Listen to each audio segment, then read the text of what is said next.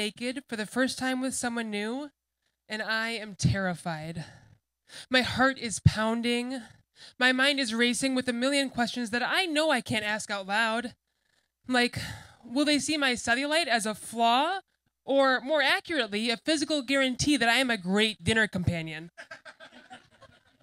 am I going to have to clarify that this entire area needs maintenance? I mean, shouldn't that be a reasonable expectation going in? What is a thigh gap and why the fuck am I supposed to have one? I mean, that is a place where my legs necessarily come together. Why would there be a gap? Anyway, what I'm really trying to say is I always get a little nervous my first time with a new waxer. with the right person, the waxer waxy relationship can be amazing.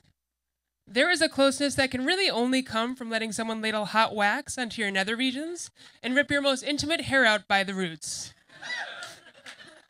Hell, I've had years long relationships with women who don't know my last name but could pick my vulva out of a lineup.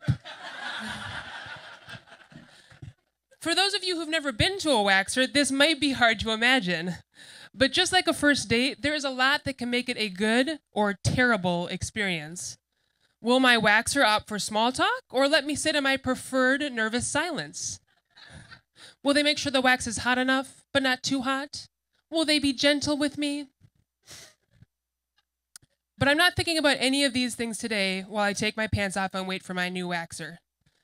Instead, I'm cringing as I look at the thick swaths of pale raised scar tissue that crisscross my upper thighs. And I'm wondering the same thing I always wonder when someone new sees them. Will they ask about them? And what will I say? I'm not surprised or offended that people ask. It's a natural reaction. But there's a reason I haven't worn a bikini in 10 years. It's not a conversation I want to have all the time. I used to resent this. Imagine if that poor decision that you made as a teenager was permanently engraved in your skin. The cheap hair straightener that caused my head to smell so strongly of burning hair, my homeroom teacher asked if someone was smoking. The heavy makeup that would have looked decent at a drag show, but was questionable for the first day of seventh grade.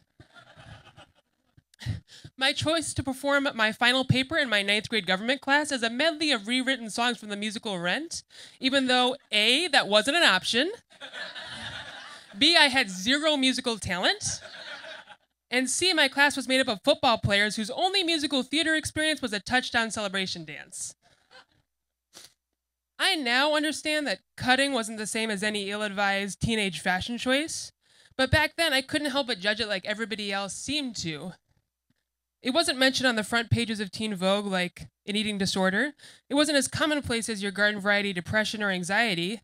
In terms of social acceptance, cutting ranked a few notches below seasonal affective disorder. The first night that I ever cut, I started with my left arm. I opened up a scissors and used one blade to saw into the skin on the top of my forearm. Blood pooled in the deepening groove, and the stinging pain soothed a fire deep within me that had been building for years, but that I didn't know how to fight. The next day, I strategically placed two fuzzy wristbands on that arm. I knew then what people thought of cutters, that they do it for attention. I was not going to be that person. At lunch, my friend Melissa made a joke about the wristbands. What'd you try to kill yourself or something? And she shoved the wristband aside before I could stop her. I can't remember what excuse I made for the bright red lines that had only barely begun to heal, but I know that nobody believed it. I've always been shitty at coming up with lies for these scars. They tell their own story far too clearly. The first time I ever got waxed, I went with a college friend who convinced me to give it a try. Irina was beautiful and cool. She had a fake ID. She introduced me to a lot of new things I had never tried before. Some bad, some good. In fact, for just about every good thing, there was a bad thing. Drinking Karkov vodka out of a water bottle straight, I only had to try once before realizing it wasn't great advice. But waxing was actually way easier, quicker, caused less irritation than any other method of hair removal. I was sold. Irina took me to her waxer the first time I went and waited for me in the waiting room. Julie, my waxer, took her time explaining what to expect. Once I was ready to get started, she drew back the sheet from my legs, and her perfectly painted red mouth dropped when she saw my years old scars. I slammed the card around my legs. The words rushed out of my mouth before I could stop them or realize how little sense they made. Really? Julie asked while shaking her head. I nodded and prayed that Irina couldn't hear us from the other room. Later that week, I asked my therapist about the situation. It's been years since I was at a place where I cut to cope with things. Is it wrong that I still lie about it? There's no simple right or wrong answer in this situation, she said. Classic bullshit therapist trick to sound wise when they're just not answering your question. but just make sure you know the answer to this question Are you being honest with yourself? So I'm still waiting for my new waxer to come into the room. Now that I've disrobed, I climb onto the waxing table awkwardly and lie atop a sheet of what looks like deli paper. Why do they have to use deli paper anyway? I mean, I already feel a mild guilt that some part of my feminist identity is being stripped off along with my pubic hair. Do I have to be made to feel like a piece of meat in the process? The door creaks open. My heart pounds to keep up with the pace at which my brain is scrambling in a last ditch effort to come up with a decent lie. Why is this still so hard for me? If I'm being honest, when someone asks, I really want to say, I didn't want attention, I just needed help. It seems pretty defensive for a first date with a new waxer, though. The door is opening. A woman with long black hair pulled back into a high ponytail walks in the room carrying a bucket of waxing equipment. Hi, I'm Sapani. We're doing a Brazilian today, right, Caty?